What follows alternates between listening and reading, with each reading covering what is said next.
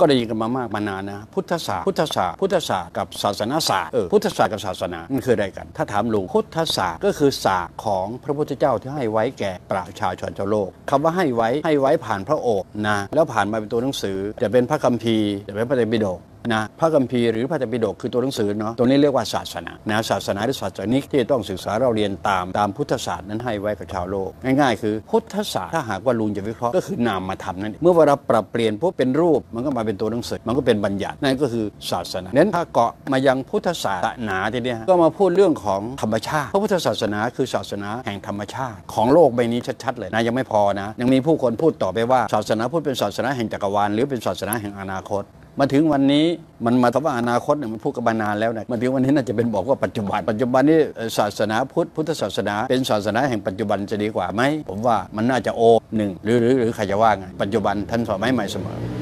คำว่าปัจจุบันเนี่ยมันก็เป็นภาษา อดีตมันก็เป็นภาษา อนาคตก็เป็นภาษา ถ้าไม่มีภาษาสื่อสารกัน มันก็จบไม่ว่าเวลาสื่อสารกันแล้วเข้าใจตรงกันไหมนั่นก็เป็นเพียงแค่คำถามนะฮะ ถ้าไม่เข้าใจตรงกันมันก็ก่อให้เกิดการทะเลาะกันระหว่างท่านอยู่ในจอลุงอยู่ในจออยู่เป็นต้นเพราะฉะนั้นลองมาประสานกันให้ดีนะครับในที่สุดแล้วก็ต้องขอบคุณภาษาอีกเพราะถ้าไม่ภาษาไม่มีภาษานี่จบเลย มันไปต่อไม่ได้จริงๆแต่มันก็มีมนุษย์ที่เขาไม่ต้องใช้ภาษานะ หรือเขาใช้ภาษาเดียว ภาษาที่ว่านั้นก็ต้องใช้ภาษาที่ที่ไม่มีภาษานึกได้ไหมนึกก็คือใจ